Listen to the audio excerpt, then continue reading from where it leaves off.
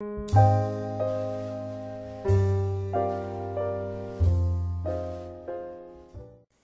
lot of people are dubious when they hear about short sales.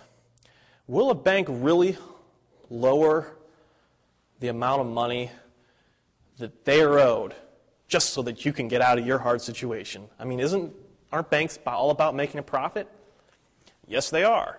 Why would a, a for-profit corporation knowingly take a loss on a loan that they made? It's important, it's important that we answer this question because you need to understand, anytime you're working with somebody, you need to understand the motivation of the party involved. It's extremely important to know that because otherwise you can't approach them properly. And there is several major reasons why banks will choose to do a short sale. Nearly every bank in the United States has a specific department for doing short sales, and that should show that they are motivated. One of the reasons that they're motivated is is because of the nature of the way our banking system is set up.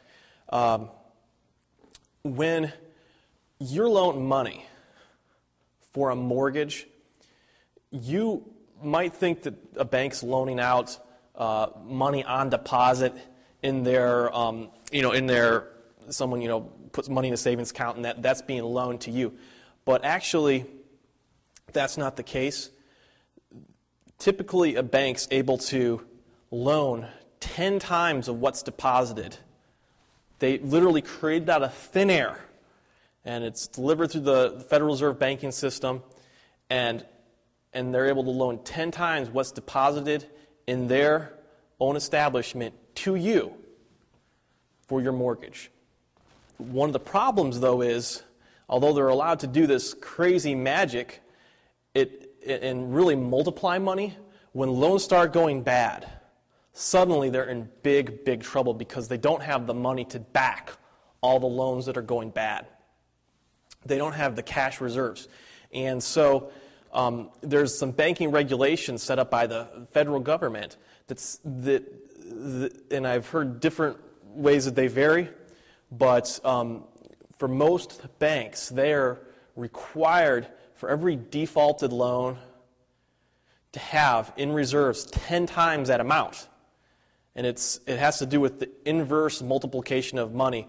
They were able to multiply money, money 10 times. Now that they've lost that amount of money and it's no longer an asset, suddenly they have to increase, you know, if it's a $100,000 loan, they're supposed to have a million dollars in the bank for that. And it suddenly becomes a major liability because now they can't loan 10 times. They're actually holding up $10 million um, because they can't loan those 10 10 times that million dollars for that $100,000 loan. So they're losing, literally losing interest on $10 million when your $100,000 loan goes, goes, goes bad. Um, uh, why do banks do short sales? Well, another reason is because um, they save money that's because fees are, are, are accruing every day that a, short, that, a for, that a house comes closer and closer to foreclosure.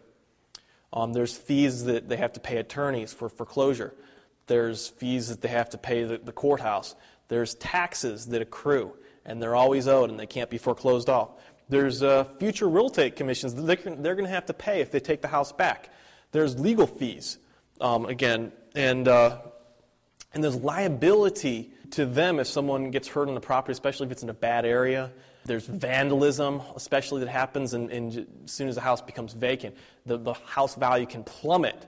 Even in a, in a decent or marginal area, um, a vacant house can get vandalized. These things really add up quickly. And so a bank knows that even if they have to take a, an offer that's below market value and still pay all their fees and get out of it and take a major loss now, it's, it's for sure going to be a lot less than if they have to wait months to get it back probably in a lot worse condition. It makes a lot of sense for them to do a short sale. There's a lot of motivation for them to do it.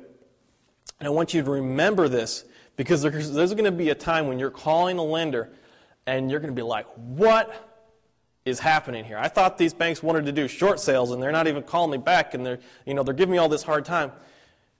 They are motivated, but they're also extremely behind. And so just remember, they, they really are motivated And um, out of compassion, continue to call them and, and, and make sure you help them save themselves some money. This is an example of, of the types of losses banks uh, typically uh, will have. I just heard a report regarding some subprime lenders that on average they recover 60% of the loan balance after costs when foreclosing, uh, which is a really low number. In Ohio here, I would guess that the average is much lower, especially in some of the, um, the marginal areas. Uh, it's not uncommon to see a house sell for 10 to 20 percent of what the loan was, and um, the net's even lower than that.